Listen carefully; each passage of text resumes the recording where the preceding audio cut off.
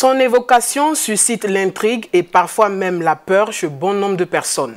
À tort ou à raison, nous allons le savoir. Rose-Croix, secte ou école de vie, c'est le sujet au cœur de ce numéro de C'est-à-dire. Pour en parler, nous recevons M. Ibrahim Ben Sassi, docteur en médecine et conférencier officiel de l'Université Rose-Croix internationale. Bienvenue à vous, M. Ben Sassi. Merci, merci de, de m'inviter. Qu'est-ce qui explique votre présence en Côte d'Ivoire? Eh bien, euh, je suis venu euh, en Côte d'Ivoire et à Abidjan en particulier euh, pour rencontrer les Rosicruciens hein, qui sont dans la, dans la région afin de pouvoir discuter ensemble de, des enseignements contenus dans nos, dans nos monographies et, qui concernent en particulier la santé, puisque comme vous l'avez dit, je suis docteur en médecine. Je fais partie de l'université Rose-Croix internationale de, sa, de la section médecine et je suis donc venu ici à Abidjan pour faire un, un séminaire, donc réservé strictement aux, euh, aux Rosicruciens, aux affiliés, sur la thérapeutique rosicrucienne. Ce séminaire était également ouvert euh, aux médias. Vous avez l'habitude d'être discret au niveau de l'ordre de la Rose-Croix. Pourquoi ce changement d'approche? Alors, le séminaire n'était pas ouvert donc à l'extérieur, donc en particulier aux médias. Maintenant, il y a la possibilité, effectivement, et ma présence a, suscité mhm. cette, euh, cette recherche hein, de communiquer avec l'extérieur. Euh, alors, auparavant, euh, donc les communications, la communication se faisait surtout avec des conférences publiques, donc mhm. ouvertes à tout le monde. Et puis, de plus en plus, maintenant, donc comme les gens regardent beaucoup plus la télévision, euh, donc, euh, euh, donc surfe sur Internet. Donc la, communication est passée donc, de façon moderne sur, sur le plan télévisuel ou dans, les, dans les diffusions sur Internet. Et donc on, on, a, on, a on choisit, on, donc on s'adapte hein, donc à la manière de communiquer moderne. Quelle est l'origine de l'ancien mystique ordre de la Rose-Croix? Alors on peut, on peut voir euh, donc cette origine de deux manières, euh, euh, soit historique, soit traditionnelle. sur le plan historique, on reconnaît que l'ordre euh, donc est né euh, au début du XVIIe euh, siècle, entre 1600 et 1750, avec la diffusion d'un certain nombre de manuscrits. Donc ça a été hein, donc une, une, première, une première manière. Hein, donc c'est pas d'aujourd'hui hein, que la communication se fait vers l'extérieur. Donc par des, des, des affiches hein, placardées sur les murs, eh bien l'ordre s'est fait connaître donc au grand public. Euh, maintenant, il y a une autre manière donc, de, de considérer l'origine de l'ordre, c'est son origine traditionnelle. Donc cette origine traditionnelle remonte à l'Égypte ancienne, et en particulier dans les écoles, ce qu'on appelle les écoles de mystère de l'ancienne Égypte.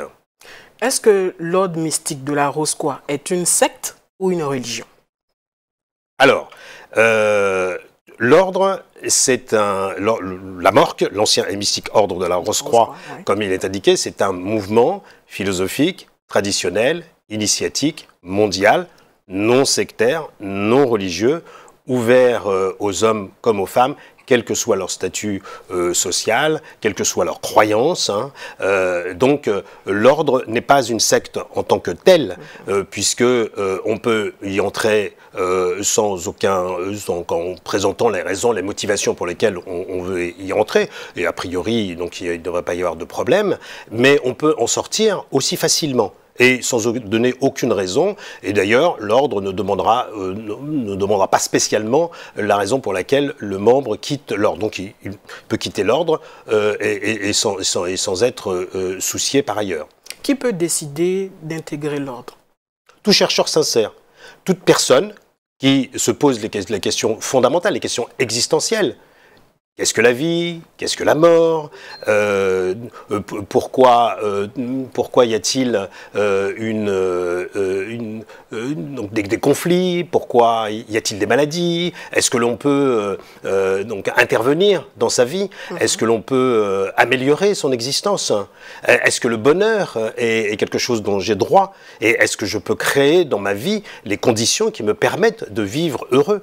C'est sûr qu'en intégrant l'ordre, on peut répondre à toutes ces questions On peut répondre à toutes ces questions, absolument. Puisque euh, le, fondement même de l'ordre, c'est euh, sa, dimension spirituelle. Euh, donc, ce qui, ce qui veut dire qu'il y a une, une, approche en, ce qui concerne l'âme humaine. Mm-hmm. Et, c'est la raison d'être, d'ailleurs, de, des ordres initiatiques, hein, donc de montrer à l'individu qu'il a une autre dimension que la dimension physique, mentale, psychologique. Il a une dimension euh, donc spirituelle, et c'est cette dimension-là qui est la, plus importante, vraisemblablement, puisqu'elle est éternelle. Qu'est-ce qui explique le fait que bon nombre de personnes aient peur des reçus chrétiens Ah ça, je ne peux pas vous répondre, je ne sais pas. Je ne sais pas pourquoi ils ont peur, mais peut-être parce que euh, euh, donc il y a des, idées euh, négatives qui circulent autour de l'ordre. Donc donc c'est la raison d'ailleurs pour laquelle il y a une communication qui est faite auprès des médias, dans les journaux, dans les livres, et, qui, montre notre réalité, ce que l'ordre est en, vrai, et, non pas en donc les, les, les lubies ou les croyances ou, les suppositions euh, autour de l'ordre. Euh, vraisemblablement, si vous le permettez, vraisemblablement parce que euh, il, y a donc une confusion en ce qui concerne les mystères. Oui. Est-ce que ce n'est pas ce, mystère que vous mettez autour de l'autre qui a suscité cette crainte, cette peur au niveau de, la population? Ah, le, le, le, mystère, c'est pas autour de l'ordre. Mhm. Le, les mystères, c'est euh, d'ailleurs la, définition de, du, du, euh, mystère, puisque l'ordre mhm. est, un, est un, un ordre mystique, hein. mystique. voilà. Et, et, donc la, la définition d'ailleurs euh, des, des, mystères ou du mysticisme, mhm. elle, a, elle, a, elle, elle s'est modifiée à, à, travers le temps. Mhm. Euh, je vous parlais tout à l'heure des écoles de mystère, dans des écoles de mystère de l'ancienne Égypte, donc il y a la notion de, de, de, de mystère, de mystique. Hein.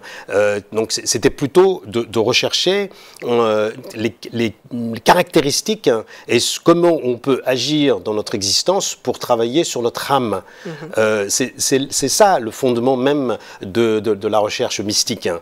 Euh, alors, et, ce n'est pas non, ce n'est pas aussi caché des choses. Euh, donc, être dans les dans les recherches mystérieuses, un, petit peu bizarre.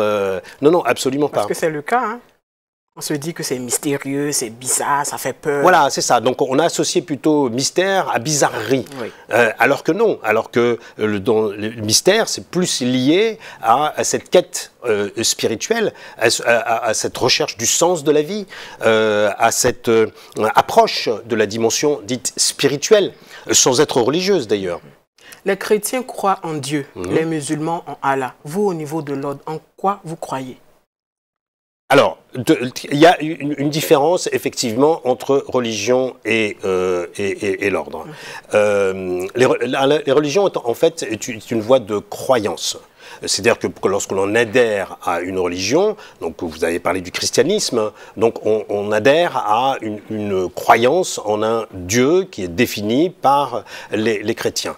De même, en ce qui concerne euh, la, voie euh, musulmane, voie religieuse d'ailleurs respectable, euh, eh bien, donc on a une définition, une, une, une approche de ce qu'est de ce qu'est la divinité. Par ailleurs, à l'intérieur de chacune de ces religions. Hein. On a parlé du bouddhisme, mais le, bouddhisme n'étant pas exactement une religion, puisqu'il n'y a pas de croyance en un, Dieu, mais une, certaine forme, une philosophie, un art de vivre, eh bien, le, il y a malgré tout euh, un certain nombre de dogmes. Euh, on doit accepter un, certain nombre de credos, euh, à, la, différence de l'ordre. Là, l'ordre n'est pas une voie de croyance, mm-hmm. c'est une voie de connaissance.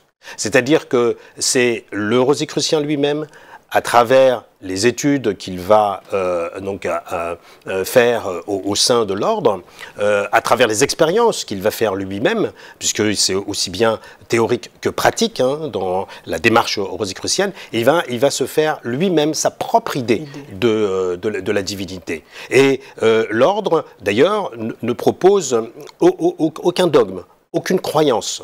Par exemple, euh, il, est question de la réincarnation mhm. dans, les enseignements rosicruciens.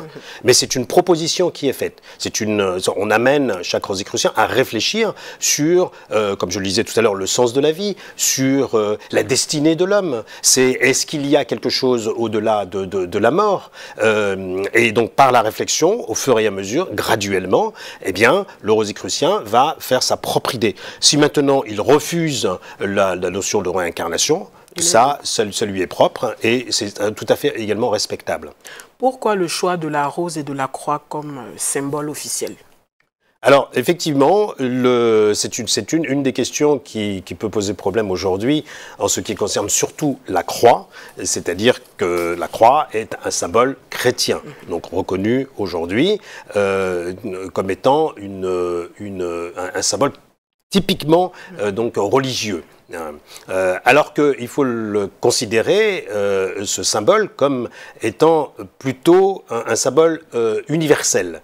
C'est un symbole en fait qui représente l'homme les, jambes jointes, debout, les jambes jointes et les bras écartés de chaque côté de son corps. Donc ça représente en fait l'homme et lorsque les, rayons du soleil levant ou les rayons du soleil couchant, eh bien, il dessine sur le sol donc, le, donc une, une forme qui ressemble à une croix. Mhm. Euh, ça, c'est la dimension, euh, on va dire, corporelle de l'homme, sa dimension matérielle.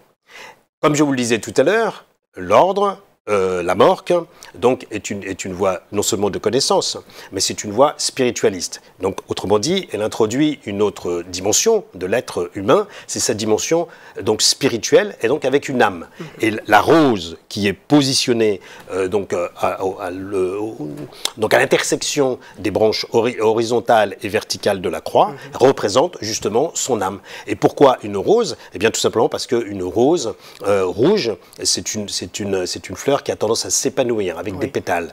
Eh bien, euh, on considère que l'âme également donc, a un épanouissement qui se fait graduellement, petit à petit, à, à travers son incarnation dans un corps physique. Quel est l'intérêt pour une personne d'être membre de la Rose-Croix? Eh bien, euh, donc une, personne qui se pose les questions fondamentales et existentielles, euh, à savoir donc quel est le sens de la vie euh, quelle, est, quelle est la euh, est-ce que est-ce que la, la, mort est une fin en soi hein est-ce que je peux développer mes, des compétences des dons hein, que, que, j'ai au fond de moi-même est-ce que je peux améliorer mon existence sur aussi bien sur, sur le plan psychologique sur le plan psychique sur le plan émotionnel euh, et, bien sûr sur le plan spirituel, et euh, par conséquent améliorer ma, ma, vie matérielle, euh, eh bien, et d'autres questions encore existentielles et fondamentales, eh bien, voilà, tout chercheur sincère qui se pose ces questions à un moment donné de son existence, eh bien, peut trouver des réponses par un cheminement. Je voulais dire également tout à l'heure que l'ordre est un ordre initiatique, c'est-à-dire que les enseignements qui sont délivrés sont gratuits Mhm. et euh, nécessite euh, donc des, initiations donc, pour introduire à, donc, à chaque degré donc, les, les enseignements qu'il va recevoir. Quelles sont donc les conditions pour devenir membre? Aucune condition. Aucune condition. Il y a donc euh, un, membre euh, va remplir simplement euh, donc un document en mettant son nom, son prénom, sa date de naissance, son adresse, etc. dire en quelques mots la raison pour laquelle il veut adhérer, adhérer à l'ordre. Donc il envoie ce document donc pour la, la, la, la juridiction française, puisque l'ordre est divisé dans le monde, puisque c'est aussi un ordre mondial, donc en plusieurs juridictions. Donc en ce qui concerne par exemple pour la juridiction française au château de Montville, au Neubourg, en France. Euh, et son, dossier est euh, étudié, regardé, et euh, si il n'y a aucun souci en ce qui concerne donc les, donc la personne, en tout cas, hein, donc voilà, donc, il a, donc la personne donc reçoit immédiatement son, son affiliation. Mhm. Est-ce qu'il y a une différence entre ou un lien entre la Rose Croix, la franc-maçonnerie, le Rotaract? Alors, il n'y a, pas de lien. Mhm. Il n'y a pas de lien direct entre la franc-maçonnerie et euh, l'ordre de la Rose-Croix. Euh, ce sont deux ordres qui sont complètement différents. Mhm. Euh, cependant, il y a des rosicruciens qui sont francs-maçons. Hein, ça, il n'y a aucun problème. Comme il y a d'ailleurs des, des, rosicruciens qui appartiennent à d'autres ordres initiatiques, hein, ça, c'est pas incompatible. Euh, comme il y a des, des rosicruciens euh, chrétiens, comme vous disiez tout à l'heure, des mhm. rosicruciens euh, musulmans, ou d'autres, hein, ou des, des, rosicruciens athées également. Donc, donc l'appartenance à d'autres ordres, d'autres mouvements, ne pose aucun problème pour l'adhésion à, à l'ordre, mais l'ordre se veut complètement indépendant. D'ailleurs, la, devise de l'ordre, c'est la plus grande tolérance dans la plus stricte indépendance. Nous sommes au terme de notre entretien. Est-ce que vous avez un dernier mot? Oui, euh, on a l'impression que l'ancien et mystique ordre de la Rose-Croix est, un, est, une, est, une, une secte, comme vous disiez, est fermée, euh, est, une, est une organisation un petit peu, comme vous disiez, mystérieuse. Euh, mais donc je, je, voudrais dire ici que tout chercheur sincère, tout chercheur qui se pose des questions existentielles, questions fondamentales, peut s'adresser donc à, l'ordre rosicrucien à Bork, à l'ordre de la Rose-Croix, de, façon à pouvoir répondre à ces questions. Merci à vous, Monsieur Bensassi, pour toutes ces informations qui, je l'espère, ont permis de lever un coin de voile sur l'ancien et mystique ordre de la Rose-Croix. Eh bien, je l'espère bien. Merci beaucoup de votre... C'est la fin de ce numéro de cet à dire consacré à l'ancien et mystique ordre de la Rose-Croix. Pour en parler, nous recevions M. Ibrahim Ben Sassi, docteur en médecine et conférencier officiel de l'Université Rose-Croix Internationale. L'information continue sur cette info et sur cette info.ci.